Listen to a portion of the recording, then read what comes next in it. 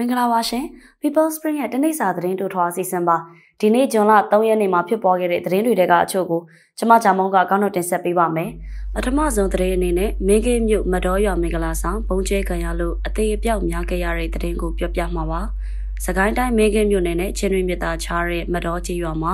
ဒီမနက်ပိုင်းကပြုလုပ်တဲ့မင်္ဂလာဆောင်ကိုစစ်ကောင်စီလေတပ်ကဘုံကျဲတိုက်ခိုက်တဲ့အတွက်ထိခိုက်သေးဆုံးသူအများပြားရှိခဲ့ပါတယ် မနက်၈နာရီခွဲချိန်မှာမင်္ဂလာဆောင်ကိုစစ်ကောင်စီကဘုံကျဲခဲ့တာလို့မြေပြင်သတင်းရင်းမြစ်ကပြောပါတယ်။ဒီလိုတိုက်ခိုက်မှုမပြုလုပ်ခင်မနေ့ညပိုင်းမှာစစ်ကောင်စီတပ်ကလေရင်နဲ့ကင်းထောက်တာတွေရှိခဲ့တယ်လို့အဲ့ဒီသတင်းရင်းမြစ်ကဆိုပါတယ်။မလို့တော့ဘူးထင်ပြီးတတိမမူမိကြတာထိတ်လန့်စရာကောင်းတဲ့အသေးပြောက်များတယ်လို့ပြောပါတယ်။ဘုံကျဲခံရတဲ့မင်္ဂလာဆောင်ဟာမင်းကင်းမြို့နယ်ပြည်သူ့ကာကွယ်ရေးအဖွဲ့ပကဖအဖွဲ့ဝင်အမျိုးသမီးတဦးရဲ့မင်္ဂလာဆောင်ဖြစ်တယ်လို့သိရပါတယ်။လေကြောင်းတိုက်ခိုက်ခံရမှုအတွင်း သူတို့သားပါဝင်9ဦးသေဆုံးခဲ့ရတယ်လို့တော်လှန်ရေးအင်အားစုတွေနဲ့နှိစက်သူတရေရင်မြေရဲ့ပြောပြချက်ကိုကိုးကားပြီးမြန်မာနောင်မီဒီယာကဖော်ပြထားပါတယ်။မတော်ရွာနဲ့မင်းကင်းမြို့ဟာချင်းတွင်းမြစ်သားချပြီး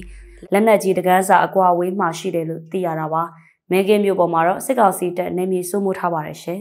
။ဒုတိယသတင်းအနေနဲ့စစ်ကောင်စီရဲ့ဖမ်းဆီးမှုကြောင့်ရွှေဈေးကွက်အယောင်းဝယ်ရပ်တန့်တဲ့သတင်းကိုဆက်ပြီးပြောပြပါမယ်။ ပြည်ရင်းနမေကြီးရွှေလုပ်ငန်းရှင်တချို့ကိုဖမ်းဆီးမယ်လို့စစ်ကောင်စီကကြေညာပြီးတဲ့နောက်ဈေးကွက်ထဲမှာအယောင်းအဝယ်ရပ်တန့်သွားတာကိုစုံစမ်းသိရပါတယ်။စစ်ကောင်စီကရွှေဆိုင်ပိုင်ရှင်9ဦးရွှေသက်စင်လုပ်ငန်းရှင်2ဦးနဲ့ရွှေကုန်တဲ့3ဦးကိုရွှေဈေးမတိမငြိမ်ဖြစ်အောင်လှုပ်ဆောင်တဲ့ဆိုပြီးဆွဆွဲကဖမ်းဆီးမယ်လို့မင်းညပိုင်းကကြေညာလိုက်ပါတယ်။ရွှေဈေးမြင့်တက်လာချိန်မှာရွှေလုပ်ငန်းလုပ်ကိုင်သူ22ဦးကိုကနဦးဖမ်းဆီးစစ်ဆေးခဲ့ပြီးသူတို့ရဲ့ထွက်ဆိုချက်အရရွှေဈေးမြင့်တက်အောင်နောက်ွယ်ကနေလှုပ်ဆောင်တဲ့ဆိုပြီးဆွဆွဲချက်နဲ့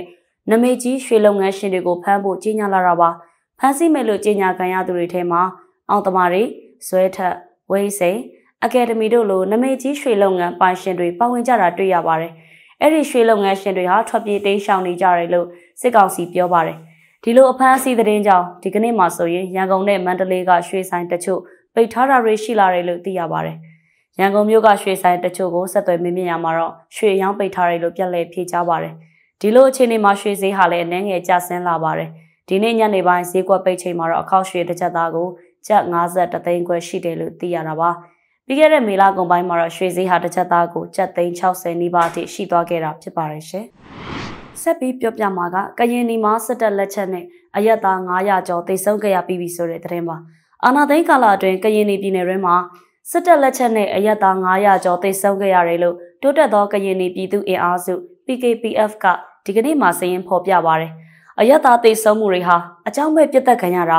လက်နက်ကြီးလက်နက်ငယ်ထိမှန်တာလေကြောင်းတိုက်ခိုက်ခံရတာမိုင်းနှင်းမိတာကြောင့်အများဆုံးဖြစ်တာကို PKPF ရဲ့စရင်ရသိရပါတယ်။ပြတ်သက်ခံရတာနဲ့လက်နက်ကြီးလက်နက်ငယ်ထိမှန်လို့သိဆုံးရသူဦးရေဟာအများဆုံးဖြစ်ပြီး400ကျော်ထိရှိခဲ့ပါတယ်။အယက်သားသိဆုံးမှုအများဆုံးဖြစ်ခဲ့တဲ့မြို့တွေကတော့လွိုင်ကော်မှာ180ဦးဒီမော့ဆိုမှာ123ဦးနဲ့ရှမ်းပြည်တောင်ပိုင်းမှာပါဝင်ပြီးရှမ်းကရအဆက်ကဖဲခုံမြို့မှာ 133ဦးတို့ဖြစ်ပါတယ်။ဖရူဆိုဘောလခဲဖားဆောင်ရှားတော့နဲ့မဲဆဲမြို့တွေမှာလည်းစစ်တပ်လက်ချက်နဲ့အရက်သားတိတ်ဆုံမှုတွေရှိခဲ့ပါတယ်ရှင်။နောက်ဆုံးအနေနဲ့နိုင်ငံတကာသတင်းကိုပြောပြမှာပါ။အိန္ဒိယရွေးကောက်ပွဲနောက်ဆုံးနေ့မှာ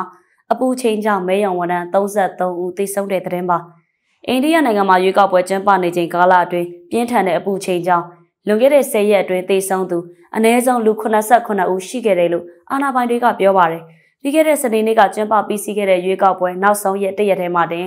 Uttar Pradesh ပြည်နယ်မြောက်ပိုင်းမှာမဲရုံဝန်ထမ်း33ဦးသေဆုံးခဲ့ရတယ်လို့ပြည်နယ်ရွေးကောက်ပွဲတာဝန်ရှိသူကပြောပါတယ်။ဒါဟာရွေးကောက်ပွဲကာလအတွင်းအပူချိန်မြင့်တက်လာချိန်မှာတရက်ထဲမှာတင်မဲရုံဝန်ထမ်းဒါဇင်နဲ့ချီပြီးသေဆုံးမှုလည်းဖြစ်ပါတယ်။သေဆုံးသွားတဲ့မဲရုံဝန်ထမ်းတွေရဲ့အကြမ်းရည်သူမိသားစုဝင်တွေကို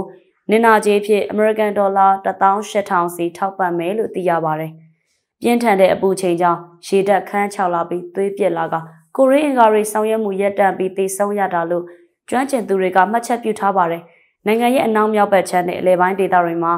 အပူချိန်ဟာ42ဒီဂရီစင်တီဂရိတ်ထက်ကျော်လွန်ခဲ့တယ်လို့အိန္ဒိယမိုးစလကဆိုပါတယ်။အိန္ဒိယနိုင်ငံရဲ့ရွေးကောက်ပွဲဟာဧပြီလ19ရက်ကစတင်ခဲ့တာဖြစ်ပြီးပြီးခဲ့တဲ့စနေနေ့မှာကျင်းပပြီးစီးခဲ့ပါတယ်။မဲရလက်တွေကတော့မနက်ဖြန်ဂျွန်လ4ရက်နေ့မှာထွက်ပေါ်ဖို့ရှိနေပါတယ်ရှင်။ People Spring ရဲ့တနေ့စာသတင်းတို့ထွားအစီအစဉ်ကိုတင်ဆက်ပေးခဲ့တာဖြစ်ပါတယ်ရှင်။